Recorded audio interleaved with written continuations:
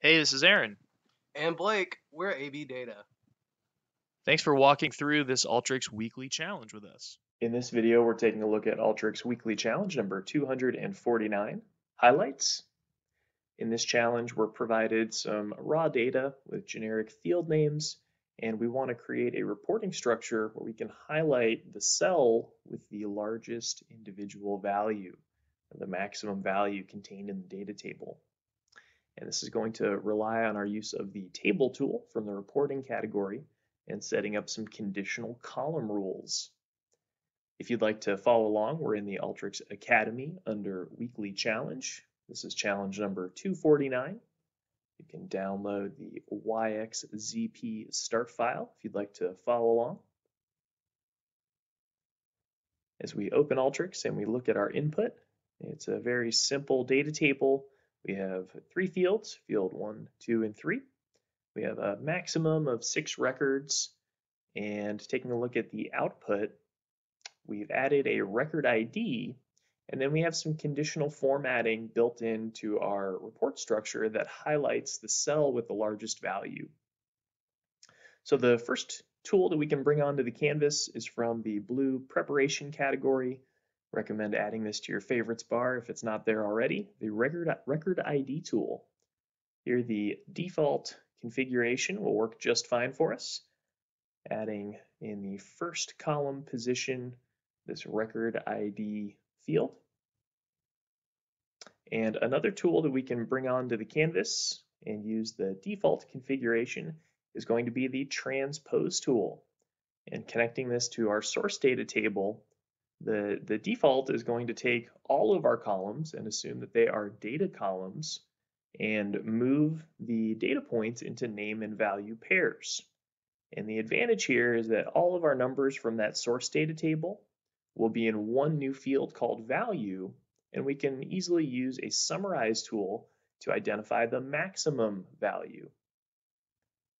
And this would work in a dynamic setting. So if we had more than three fields of data, this would be able to uh, dynamically transpose all of those new additional fields off to the right into one field called value. And the same summarize tool will, will identify the largest individual value.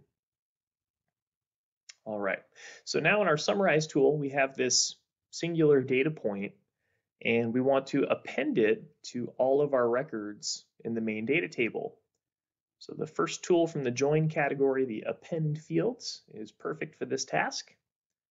So the target side will have our source data and the output will have that max value appended next to each record.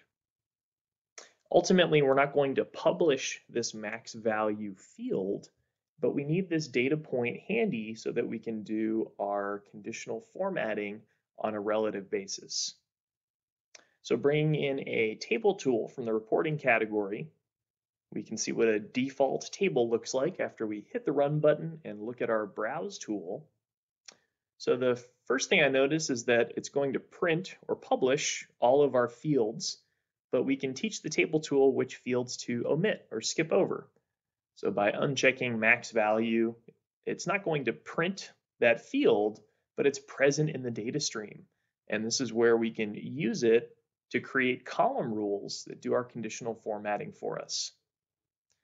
So be careful not to create a row rule here. We can do row-based conditional formatting, but this type of problem calls for column styling.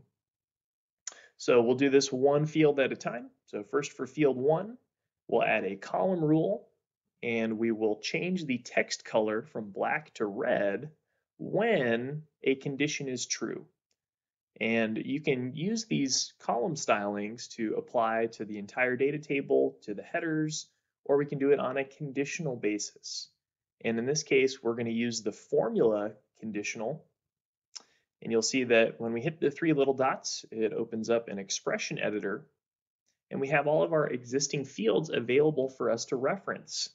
So for field one, I want to change the text to red when field one equals the max value. Let's go ahead and hit close. You'll see that field one, the reference is now bolded in your per column configuration listing. So that tells us that there is a column rule set for that column. We can quickly set up our column rules for field two and field three. The only things that will change here are the existing fields that we reference in our expression editor. So after we add our three column rules, we can hit the run button and test the impact and make sure that it's highlighting the appropriate cell. And then we'll do some quick testing and make sure that it works on a dynamic basis. So if new larger numbers are added to the data table, the next time we get some fresh data from our clients, make sure that we highlight the largest individual cell. So taking a look at the browse tool, we see that in field three, record two, the value of 132 is highlighted. So I'm going to change record two, field one to 146, which should be the largest number. And now we see that that's the one that's highlighted in our resulting table. So no more manual conditional formatting and combing through Excel files looking for the largest value. You can do all of this on a dynamic basis using Alteryx. And taking the cooking show approach, I've got a version of the solution here with the tools annotated. Nice quick solution to start the year off. Hope everyone has a happy and healthy 2021. Thank you for learning with us today. Good luck on your Alteryx journey. For more information on custom training, managed service automations, and more, please visit our website at abdataconsulting.com.